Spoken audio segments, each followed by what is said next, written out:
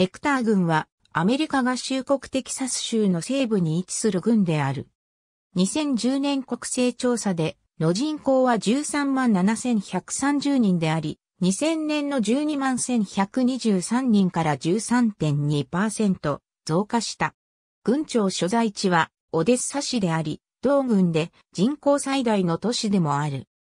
エクター郡は1893年に設立され、郡名は南北戦争で南軍の将軍だったマシュー・エクターにちなんで名付けられた。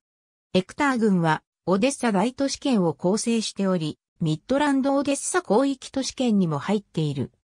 アメリカ合衆国国勢調査局によれば、軍域全面積は902平方マイルであり、このうち陸地901平方マイル、水域は1平方マイルで、水域率は0.07%である。